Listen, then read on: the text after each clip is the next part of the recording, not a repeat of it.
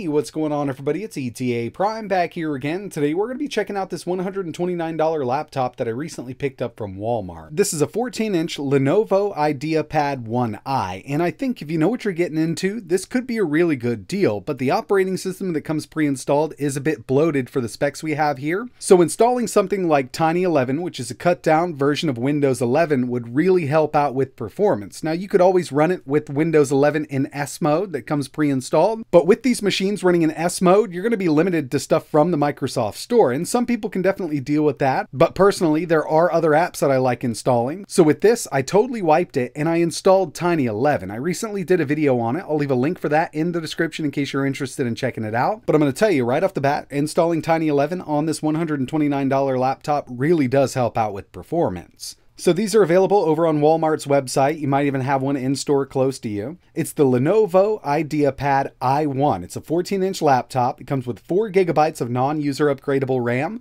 and the Pentium N5030 CPU. 4 cores, 4 threads with a clock up to 3 gigahertz just taking a look at the specs and the price, you got to understand that this is not a high end laptop. This is something made for browsing the web, document editing, email checking. You could get some light gaming out of the way on it, like some indie games, and we will test out some older 3D games and emulation by the end of the video. So you got to understand, going into one of these cheaper laptops, you're not going to be getting AAA gaming out of the way. Now, if you wanted to do some cloud gaming, it would work out really well. It actually has Wi Fi 6 out of the box but this is really made for browsing the web, email checking, document editing, and even Skype calls can be done on this laptop. Taking a look at the I.O., over here on the left hand side, we've got our power input, one USB 3.0 port, full size HDMI. We've also got USB Type C, which is 3.0, and a 3.5 millimeter audio jack. Moving over to the right hand side, we've got one full size USB 2.0 port and a full size SD card reader. The very first thing I was interested in with this laptop was the upgradability. Unfortunately, we cannot upgrade the RAM. It's soldered to the board. It comes with 4 gigs, and that's very limited for Windows 11, but with a modified operating system, you can definitely get by. It's passively cooled, so it's totally silent, and we've actually got an M.2 slot in here so we can easily expand the storage.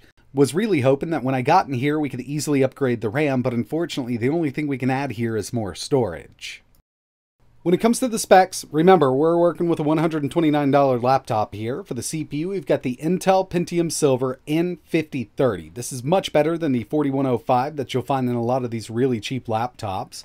Four cores, four threads. We've got a base clock of 1.1 gigahertz and a turbo up to 3.1. The GPU is the Intel UHD 605 at 750 megahertz. We've got 4 gigabytes of non-user upgradable LPDDR4 soldered to the board at 2400 megahertz. 128 gigabytes of eMMC storage, plus we've got that M.2 slot so we can add up to a 1 terabyte drive if we want to. It's got Wi-Fi 6 and Bluetooth 5.0, a 14-inch 1366 by 768 display, nothing special, but it'll definitely get you by, and they claim up to 10 hours of battery life, now this thing at full brightness, full volume, playing back video from YouTube, I'd say you can get around 6 hours out of it. And this does come pre-installed with Windows 11 in S mode. It's really easy to get out of S mode. You can do it directly from the Microsoft Store if you want to. Or you can install a modified operating system like Tiny 11, which is really going to help out with performance given the lower amount of RAM that we have in this unit.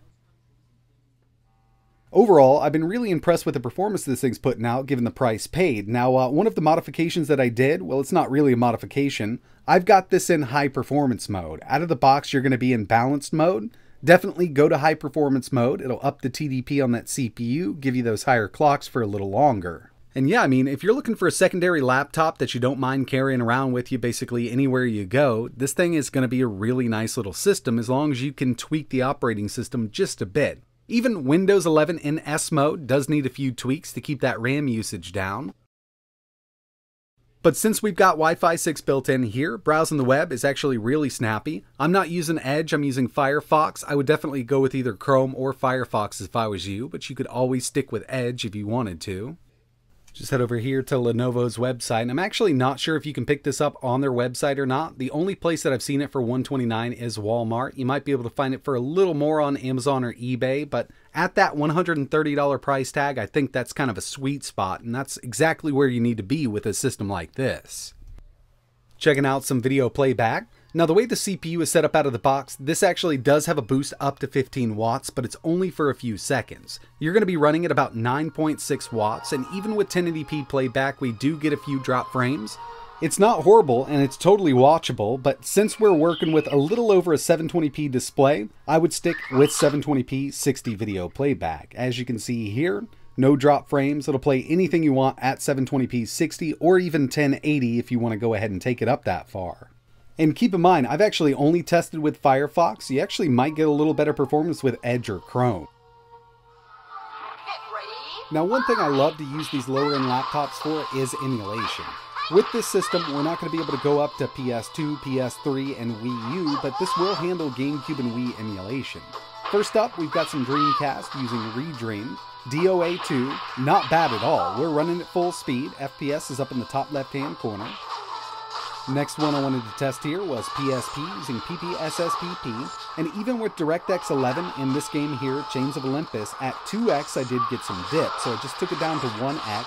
I think this could be alleviated with a different operating system. Something like Batocera would work out really well on this little laptop, running it from a USB drive.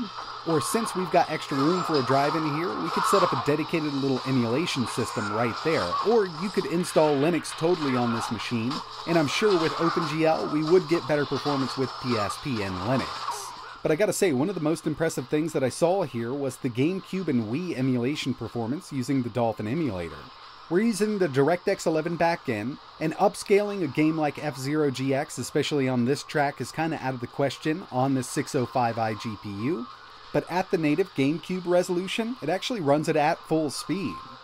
If you're interested, we can test out some more emulation on this chip, just let me know in the comments below, but now I wanted to move over to some PC gaming, and of course, on a lower end system like this, newer AAA games are going to be out of the question. So I threw some old stuff at it just to see what would happen.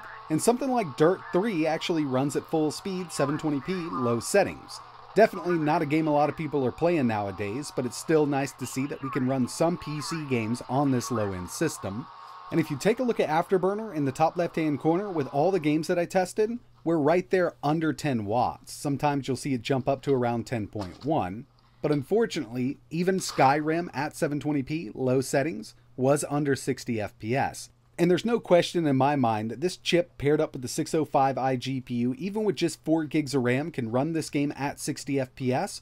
But what's really holding us back here is the TDP on that CPU. It's just not sending enough power to get those boost clocks up. And unfortunately, even using a third party application like ThrottleStop, just won't allow us to set this at 15 watts. No matter what I've tried, it always dips under that 15 when we're gaming.